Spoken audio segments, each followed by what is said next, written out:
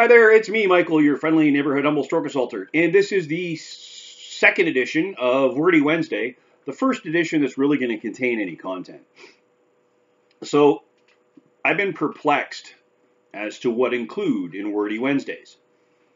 And my girlfriend's a bit of a nerd, I'm a bit of a geek, um, so that kind of works out. One of us could be a dork, I don't know, you know what I mean? Like, there's a whole context and continuum of nerdiness. It's kind of like a bell curve. Um, so she had a board game uh, called Ticket to Ride. I'm not sponsored by them. I'm not being paid by them. I'm not being promoted by them. But it's something that I accidentally encountered, like a little kind of Bob Ross happy accident. Um, and this is something that will be great for someone that has had a brain injury, is having communication deficits, uh, and we'll just talk about it. So this is called a Ticket to Ride. It's a board game, right? And it's made by, I believe, the lovely people at Days of Wonder. You can find them at www.daysofwonder.com. See, it says so right there.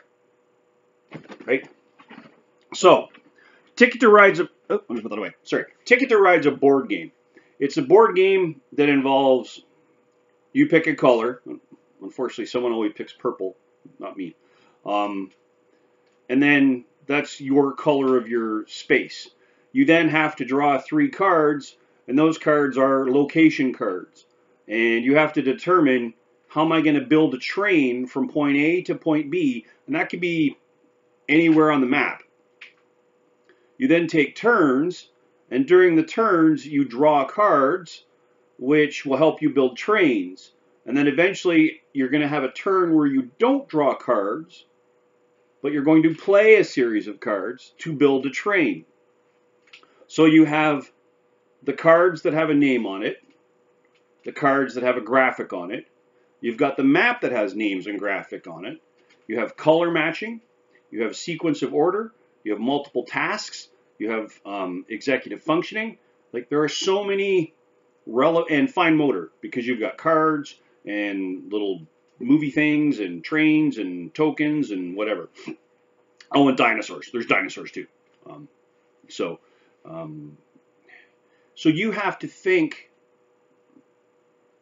strategically how I'm going to play the hand I'm given, and, and so far as the routes I'm gonna I've picked, because you you get so many route cards and you get to decide which ones you're going to keep.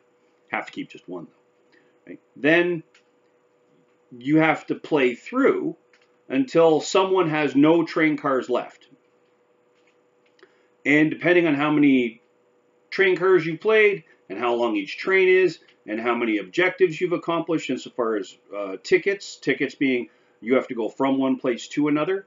Uh, the game has many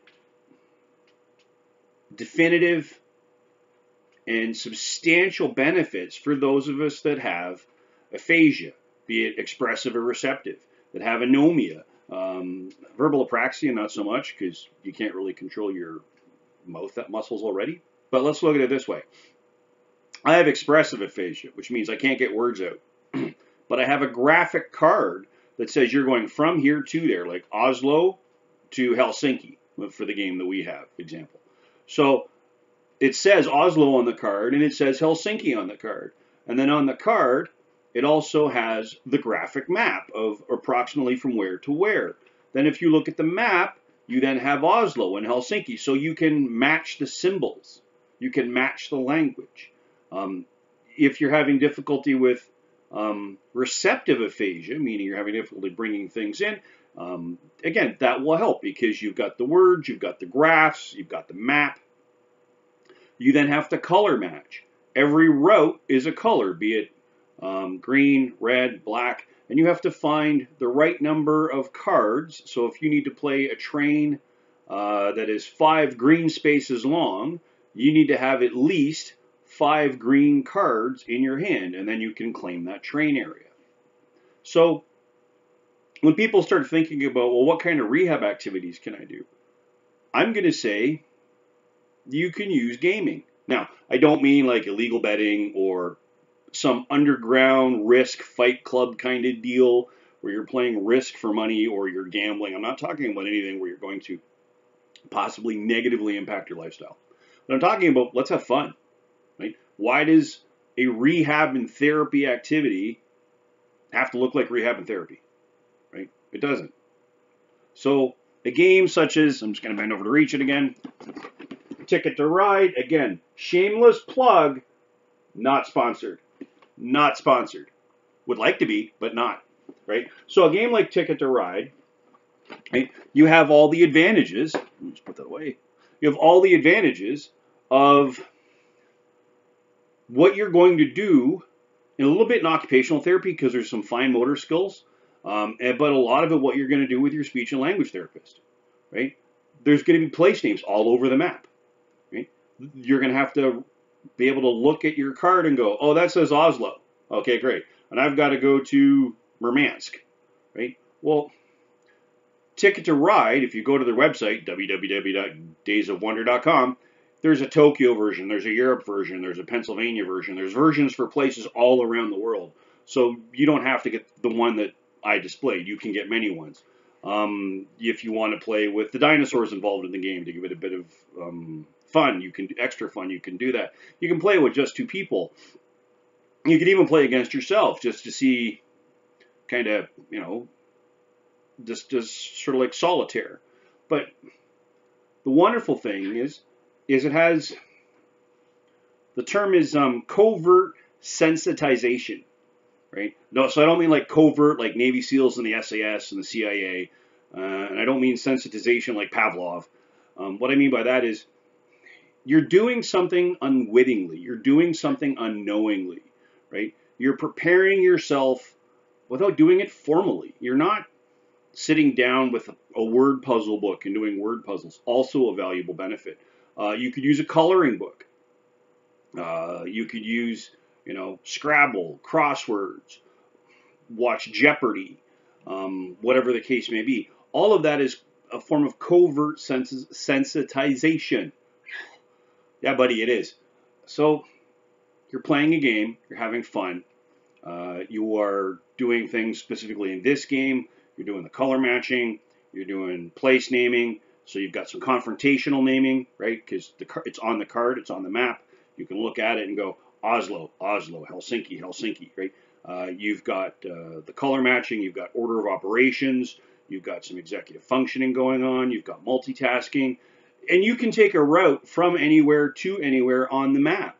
There's no there's no definitive you must go this way, you must go that way, right? And then you get the competitive part of it is you might want to play against your opponent. So if you see your opponent is about to take a certain path, even if you don't need it or not, because you want to be a dick, um, not that I would ever do that because that would be wrong, you might want to play against your opponent just to make it a bit more difficult for them. Right?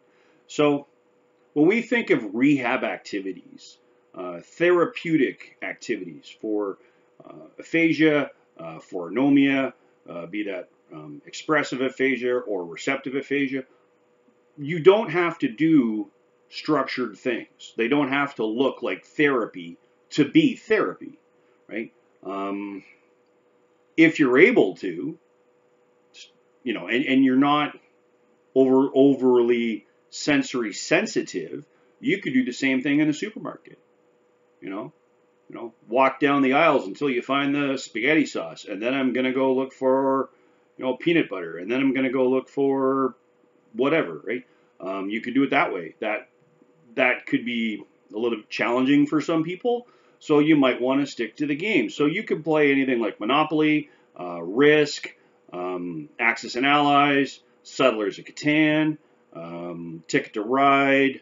Uh, again, I'm not sponsored by anyone. I'm just dropping names. That's it. So this is just a shameless plug for games.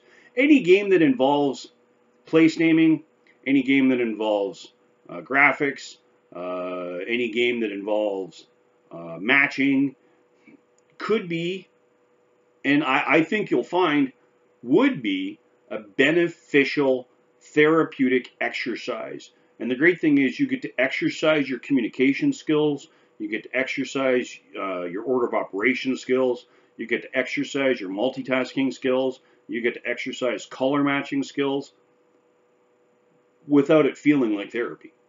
Okay? You, you get to spend half an hour with people you enjoy the company with, hopefully. Um, and if you don't, sorry. Uh, and you're having fun. You're just spending time doing really nothing at all, just spending time playing a game. So when we start thinking about rehab activities, why do we have to have rehab to have rehab, right? It doesn't have to be structured, doesn't have to be formal, but it has to be fun. Because ultimately, if you're not enjoying doing the thing that you're doing, you're probably not going to want to do it again. So when you went to physiotherapy for the first time, it sucked didn't it? Yeah, yeah. Except for you, yeah, you. No, no, you're trying to say it didn't suck. We know yours are weird. Um, first time you went to physiotherapy, it was an absolute nightmare. Your body's on fire, your brain's on fire, you're exhausted from just trying to do one simple exercise that six weeks ago was no problem at all. And then when you went to occupational therapy the first time, for me, it felt like my brain was on fire. They made me do all these these tests of color matching and moving the objects, right? It felt like my brain was on fire because they were doing a formal, structured therapy routine, something that they're they've got a book they have to work out of. Well, great thing is when we're at home, we don't have to work out of that book. The great thing is when we're at home, we can do the rehab and therapeutic activities that are the most beneficial for us. And why not just have fun doing it? You could make cookies as a therapeutic activity. Get the recipe out, right? Provided you don't need help or supervision because like you're unstable in the kitchen or you might chop a finger off or you'll forget you turned the oven on and you burn the cookies and the fire department shows up. Unless of course you want to meet a really cute fireman then or fire person, fire lady, firefighting individual. Um, yeah, unless you want to meet a hot person in a firefighter's uniform, yeah, then burn the cookies. Um, otherwise, please don't. But like something just making cookies could be a therapeutic activity because you have to read the recipe. You have to go find the container. You have to measure out the things. You have to follow the order of operations. So when we start thinking about therapeutic activities for communication deficits after a stroke, a brain injury, or concussion, why don't you think inside the box? Get it? Inside the box. Right? So you don't have to worry about what am I going to do for therapeutic activities today? Just think inside the box. That's my idea. But what do I know? I'm just a guy who had a stroke, who historically at one point used to work with brain injury um, um, patients and clients as a rehab and therapy support worker, and I've got a YouTube channel. So if you happen to have been enjoying the content you've been watching, please like, share, subscribe.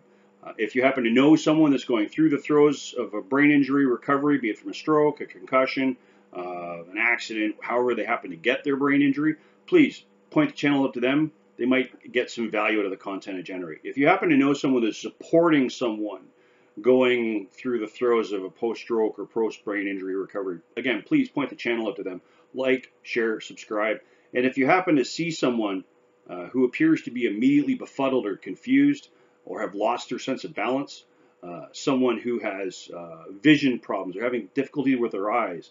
They can only see in grayscale. They can only see it in one eye. They only see a little dot in the world. They can't move their eyes in a certain direction. They have a, a facial droop. There's a noticeable uh, slackening of the facial muscles. If uh, someone who has, um, they can't raise their arms equally effectively or at all. They can't smile equally effectively or at all. They have slurred, stuttering speech, inappropriate uh, language for situation or context. Or if you notice you have difficulty understanding speech, right? Uh, if you have general body weakness or weakness on one side or has the inability to stand unaided, please immediately place that person in a position of comfort and dial 911. Something so simple can save a life.